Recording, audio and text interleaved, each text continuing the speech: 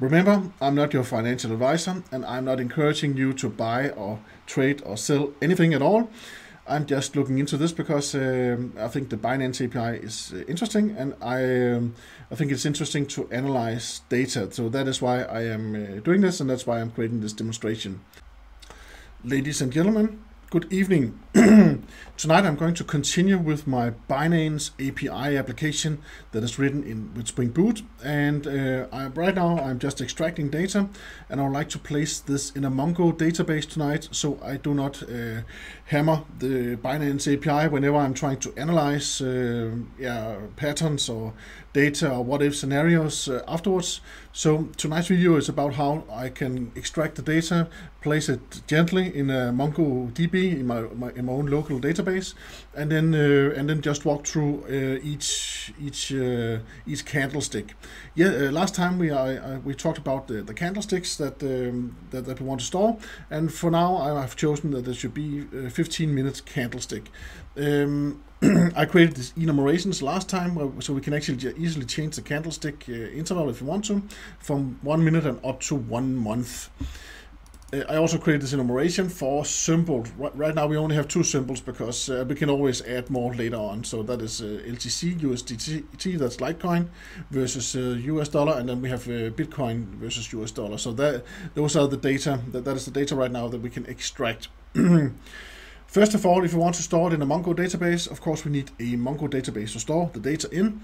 And I've created this Docker Compose file right here, .yml, uh, and it's quite simple, so there's no uh, security on it, there's no username and password, it just exposes port 27017. There's no volume mapping either. We should add some volume mapping at some point right now. Um, i am just giving that right now. Uh, but at some point we should add some volume mapping so we don't lose all of our data if we delete the running container. Right now, if, we, if I delete the container, then uh, all my data is gone, and then I need to mine the data from uh, Binance from the Binance API again, because um, that is actually what we are doing. We are uh, we are getting small uh, we are uh, getting small pieces of data from Binance API, and then uh, yeah, we, and then we do it in a in a slow rate, and then we store that in the Mongo database. So we uh, so when we're analyzing, we, we we're not hammering the Binance API, and then we will be uh, yeah. If, if we hammer the Binance API, then we will be banned from using the API. First, we get a warning, and then we will be banned. But enough about that. Let us look at some code. So I've already started up my uh, MongoDB. If I go to a terminal and I write Docker PS. I actually already did that. And you can see right here, my Mongo database is running inside a Docker container. Then the next thing I did was that I created, the, yeah, the last time I created this collect service right here, right? So I had this collect service here, right? The last time that was one, which the, the one that we wrote together in the last video, in the last Binance API video. And here we extract candles. We, we are building a UI, uh, yeah, we are building a URL so it matches the one from Postman. And uh, Postman, uh, there was already so a lot of templates from uh, Binance that we could just download and use and in, in Postman. And now we're trying to build our own uh, our own URL with all the query parameters like um, like uh, start time and symbol and interval and limit right now we, we can maximum get 1000 items uh, retrieved and then we have the end time right there.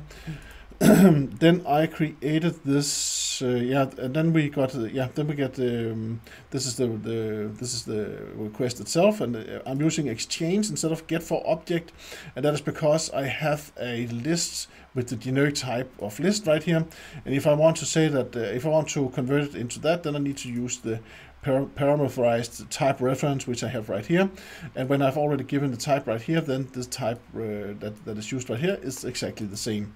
So if you are if you're getting uh, a response, a JSON response that is a list with some generic type from uh, from your uh, any API, then use Exchange instead, and then use um, then use this par yeah, parameterized uh, type reference instead, because then you can actually say that you are uh, that the response is a list uh, with a generic type. If you just use get for object, you cannot use, you can say that it's a list, but you cannot say which generic type the list has. So here's the response, get body, yes, yes, yes. If it's null, then create a warning and then return an empty array list. It, it will not be null, then uh, I guess that we will get an exception instead. Uh, it, it was actually to avoid uh, an, an IntelliJ warning. I created that part right there. And then we are returning a list of candle response items. And instead of naming this candle response items, I would actually like to refactor this already so it's candle items instead. Because it is actually my own data class. It has nothing to do with... Um, it has nothing to do with... Select all, yeah. It has nothing to do with the response actually. It is actually a data class that I created myself. So um, I have this is the data, this is Lombok data. That means that I will get my getters and setters into string. And here we can see this this ID here. That this uh, enables it to be stored in a Mongo database because then I, I will have the ID right there. And then I've added symbol and interval. I don't get those data from uh, Binance. That, that is some data that, that I attach myself. And all of these fields right here, that is from Binance. Then I have a lot of helper functions like, uh, yeah, so I can see the dates uh, in, in real date time instead of uh, milliseconds since 1970. And then I created a simple to string method right here I use for debugging. So that is that is my that is my data uh, that is my da data class. So then I have uh, then I created this repository right here for my MongoDB, and I also want to re rename that actually. It should not be named response just candle item repository. Yes, select all, go nuts, refactor everything. And uh, this is interesting because here, this, this is an interface. I'm using uh, Spring MongoDB data, Spring Data MongoDB. And that means that I, then I can extend a Mongo repository. Then I can say that I want to store a candle item. The ID is a string right there. Um, and then I can create methods, and from these methods, then they get some functionality. That means that if I'm if I'm naming a method delete by simple and interval like this, then uh, then Spring will actually Spring Data will actually handle uh, handle uh, and create the query for me. Then I, and then I can just delete um, delete all the data in the database with the symbol that I give right here symbol that I give right here and the interval that I give uh, right here as arguments to the method. That is really, really cool. But sometimes then I have some queries that where the, the, the method name would be very long. Um, I actually try to create this a method name also, but it gets very, very long. And if you're using method names, then um, Spring Data doesn't like that you mention the same field twice. Um, so at least uh, I, I, th I, thought it got too complex, and I, actually, uh, to be honest, I, I don't like that um, that we are creating method names uh, and then because of the method name, then it has some kind of meaning, and um, then it, it yeah. Uh, I actually like that we give a query right here, and then we can give a name right here, and then uh, even though that my query changes, then my method name is still the same. So I, I prefer this way of creating queries, but uh, both is of course possible, and uh, you can also do it by hand with the REST template, and then uh, the query object. That's actually quite easy. I've created a video about that also. Um, here we have the query and a query with the MongoDB that is actually just some JSON. I say that I want the symbol to be equal to, and then we have a function right here that is the um, that is the Mongo uh, function. If you don't know uh, if you don't know anything about these uh, functions right here, then there's a page you should go and look at, and that is the reference documentation for MongoDB. Then you can actually go and see that. Um, then you can go check the, the all all of the um, the query, the Mongo queries right here. Um, it is very helpful. it is very helpful. Here we have the find right there. That is the one we're looking at right now. But enough about that. So I have a, uh, I, I know that if I write dollar $eq, that means equal to, and then I can write uh, a question mark one. That means that this is the second argument. That means that this will be the interval that I apply right there. Let me just format the code a little bit. So Control Alt F for formats on, on my key. Uh, that's the shortcut I've set up. So then that means a symbol is the first variable, interval is the second, should be equal to the second variable. Open time should be greater than or equal to GTE, greater than or equal to. And then uh, question mark 2, that means that that is the third uh, the thir third parameter right there, or argument, the third argument. And then we have the then we have the fourth right there. That is the, that means that I want this to be less than I want the open time to be less than the last uh, argument right there. And then I, yeah, and then, then I can actually name this whatever I want to. I could call this custom delete, or now I'm just named it delete within uh, time. Then I've created a find. This is a find method right here. Find by symbol and interval order by open time. That means that then I will actually get all the candlesticks right now, and I will get them as a page. And uh, uh, when you're dealing with um, when dealing with Spring Data, if you give it a pageable page request in the end, then you can actually instead of uh, instead of just getting a list, then you can get a page. It means that you can actually extract uh, a part, a subset of data at a time, and then you can actually uh, go through each page one by one and then um, yeah instead of just getting all of the data. Right now I, I made my page so big where, the, the, uh, where I'm using it so I'm actually only I only have one page. But I'll show how it's implemented. So but this is my repository. So this is what handles all the input and output to my Mongo database. One class to do all that. Thank you very much Spring for Spring Data because this is I think is awesome that uh, one class can can handle all that and it's not that much code and it's very transparent what's actually going on. So thank you thank you thank you Spring um, now let us see how it's, how we how use it. So first of all, yeah, this is the service that actually extracts data. Then I've actually created another method right here, and that is the mine data. I've actually created a mine data method right here. It takes a begin time, it takes an end time, it takes a symbol, it takes an interval, and then the first thing I actually do is I use the repository right here. I use the repository to delete all the data in that that that we that we want to mine because maybe we have we don't want to have uh, duplicated uh, duplicated time uh, duplicated candlesticks lying around in the database that will give us a wrong image of what uh, picture of, of what is going on. So um, I'm deleting all the data with that symbol and with that interval and then we start from uh, this is the, the, this is the beginning. So we start with the beginning and I just call minus days zero. That was, that was just to get a copy of the local date time so I don't have the reference anymore. So now it's a copy um, and uh, yeah and this current this is the one I am looping through right right here. So right now we have current, and then I ask, is current before the, the end time that we have given up as an argument right here? If yes, then we just continue. And then in the end of the loop, then I add one day to the current day time. That means that I will take, I'll actually uh, take one day at a time from the Binance API. And of course I use the, uh, I use the method in here to take one day. So I take the current, and then I take current plus one day right here, and then I take the data from the symbol and the interval right here, and then I get a, a list of candle items. And if, if it's 15 minutes, then I'll get uh, 96 uh, candlesticks, uh, candle items. And uh, then I can save those, um, yeah, and then I save those in a repository. Let me just check something.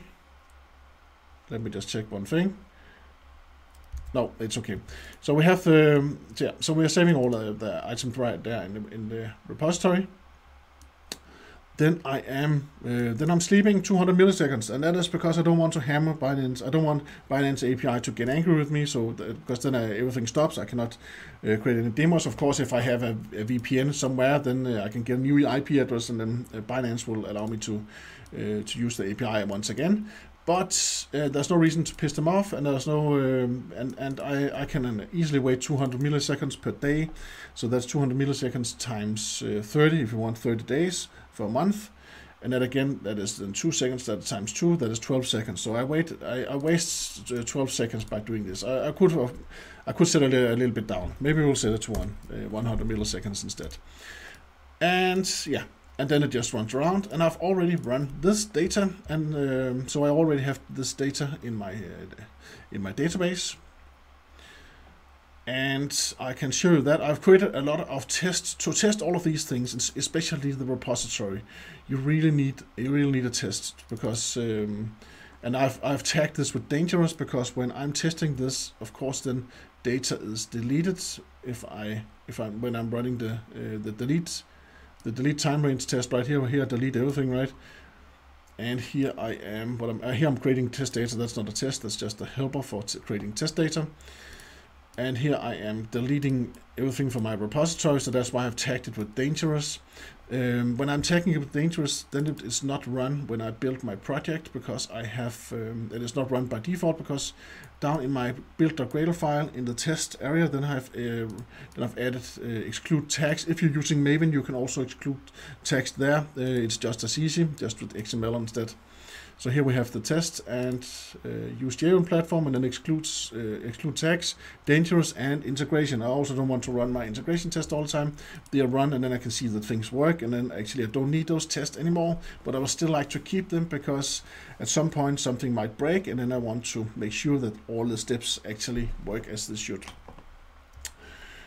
Um, then I have, so that is, uh, so yeah, that was the repository test right here. So repository test very dangerous because I delete all, then I create some items right here. Then I expect that there's five items in the database, five documents in the database. Then I delete by symbol and interval right there. And and when I've chosen those, then I expect that the last two actually are still there because this is a bit Bitcoin and this is uh, four hour and I only deleted the Litecoin and 15 minutes.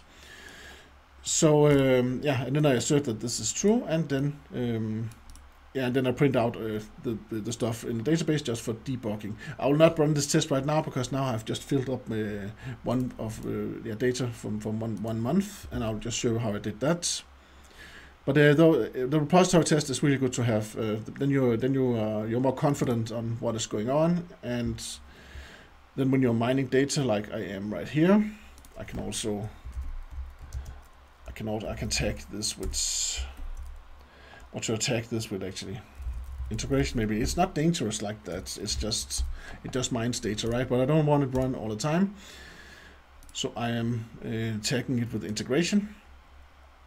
And here, what, what, what am I doing here? I'm actually, uh, the, I took uh, June, so that is the sixth month, the first day, and that is the begin time.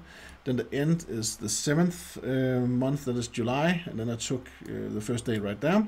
Then I said I wanted Litecoin, and then I said I wanted 15 minutes. Then I've created another test, and that is a walkthrough uh, test. And this is kind of the beginning of my analytic uh, analytical code, because now um, I, I, want to actually go through each candle item, and then of course I want to analyze. But first, right now I'm just printing out the codes. So uh, I'm, printing, I'm printing out all the candlesticks. I can actually see that I have them in my database. And then just run that. that is, it's okay to run that. What it actually does is that it takes my repository, which I wire in right here. When you're using tests, it's okay, it's okay to use AutoWired when you are dealing with unit tests, but uh, of course never use AutoWired in your in your real code, in, because then you can use uh, constructor injection instead. Then you write much uh, better test, testable, testable codes so uh, if you have AutoWired somewhere in your codes, in your real code, up in your uh, main uh, Java source, then you should remove it wide array. And here I have my test. Yeah, go through uh, Litecoin 15 minutes, and here's the repository. Find by simple and interval order by open time. Because the method is named like this, then until uh, then uh, so then Spring Data will actually know how to create a query that uh, that uh, have a condition of symbol and interval and then also orders by open time. And that is why I can give these arguments right here. And then I give a page request. Look this this is um, this uh, this uh, extends uh, implements sorry this implements somewhere in the hierarchy then it implements the pageable so I can create a page request like this off, and then this is the first page, and I have each page should, can be like a hundred thousand um, items long, and then I want to sort by open time. So I can I'm actually changing the sort right there. So I would not need the I would not need this actually. Oh yes, uh, maybe I do. I'm not sure actually if I needed this. But uh, we'll just leave it for now. So page request, let us look at that. Because if I look at that, then it extends abstract page request. And here we have the pageables that we implement, and that is the, actually the that is the interface that we uh, used in the repository. If you don't remember, then let's just go back. So I will just go to my repository. Then we can actually see it's pageable, not page request, that we're using in the interface method right there. So now we are, uh, yeah, so now uh, we are ready to go to each piece of data. We've created this test right here, and let us see the results. I'll just scroll down a bit.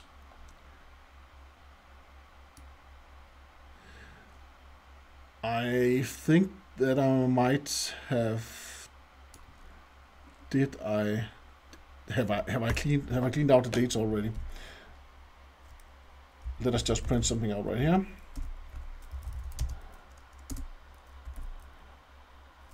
Yeah, went through, how, what, what does it say that we went through all that data?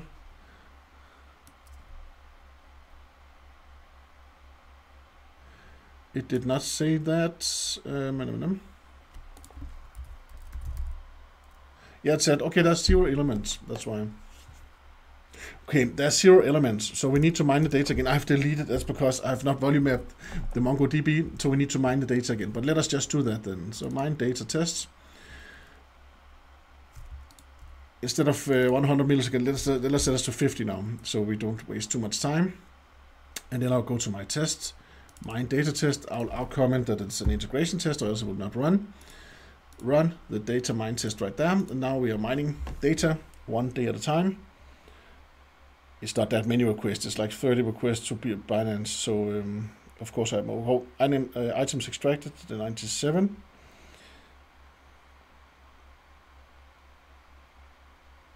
That's actually because, let me just check.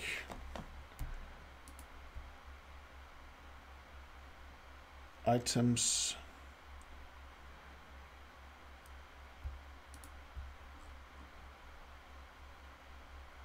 Let's just check right here. That is the size. That means it's plus one. So that's because we have 98. Um, yeah, that's 98 items in a whole day. So that's pretty good. So now we actually have mined a lot of data and we can see all of that data. If I scroll out right here, we can see that it actually takes one day. That's the 17th, this is the 18th, etc., etc., etc., up to, uh, that went a little bit too fast. I'll just go back a bit. Oh.